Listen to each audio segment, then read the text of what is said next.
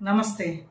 చాలామంది యువతులు వాళ్ళకి పెళ్ళిళ్ళలో పేరెంటాలో లేకపోతే ఏదో ముఖ్యమైన రోజుల్లోనో ఈ పీరియడ్స్ రాకుండా ఈ డాక్టర్స్ని అడిగి అడగకుండా మామూలుగా మెడికల్ షాప్కి వెళ్ళి ఈ పీరియడ్స్ వాయిదా వేసుకోవడానికి మాత్రలు వాడుతూ ఉంటారు. వీటి వలన ఎప్పుడు పడితే అప్పుడు మనకి ఈ పీరియడ్స్ వాయిదా వేయడం వలన ఇరెగ్యులర్ ఇరెగ్యులర్గా రావడమే కాదు.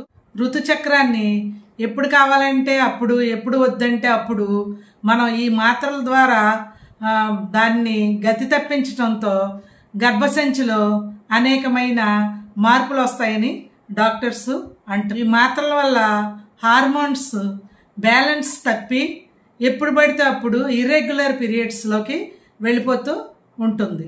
మూర్ఖంగా ఈ మాత్రలు వాడడం వలన రక్తంలో గడ్డలు కట్టి ప్రాణానికే ప్రమాదం అని డాక్టర్స్ చెప్తున్నారు.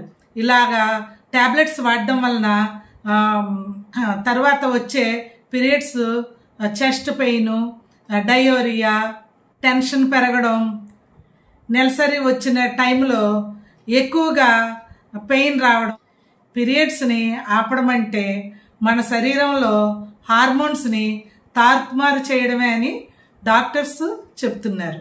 మనం ఒకవేళ మనకి తప్పదు వాడాలి అనుకున్నప్పుడు తప్పనిసరిగా మంచి లేడీ డాక్టర్ని కన్సల్ట్ అయ్యి మనం వాళ్ళిచ్చిన మెడిసిన్సే వాడాలి. ఆ ఆ ట్యాబ్లెట్స్ ఏంటంటే హార్మోన్స్కి సంబంధించిన ట్యాబ్లెట్సే కాబట్టి లేడీ డాక్టర్ రాసిచ్చినవి వాడాలి.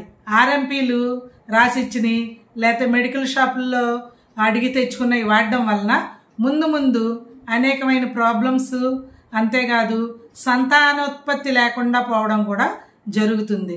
కాబట్టి ఈ విషయంలో లేడీస్ అందరూ మం ఆలోచించుకొని మంచి ఇలా ఈ నెలసరిని పోస్ట్ పోన్ చేయాలనుకున్నప్పుడు అది చాలా ఇంపార్టెంట్ అయితేనే వాడండి. లేకపోతే వాటి జోలికి వెళ్ళొద్దు.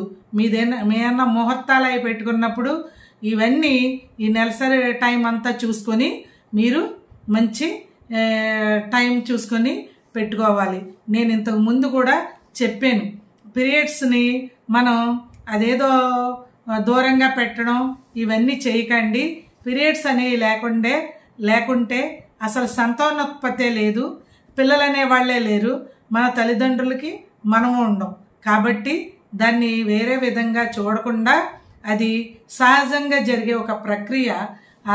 ప్రక్రియగా చూడండి. పూర్వంలాగా పిల్లల్ని ఇబ్బందులు పెట్టకుండా ఉండమని నేను ఒక వీడియో చేశాను. నా ప్రీవియస్ వీడియోస్ ఒకసారి అందరూ చూసి మీ కామెంట్స్ తెలియచేయండి. ఫస్ట్ చూసేవాళ్ళైతే సబ్స్క్రైబ్ చేయండి లైక్ చేయండి కామెంట్ చేయండి షేర్ చేయండి. నమస్తే.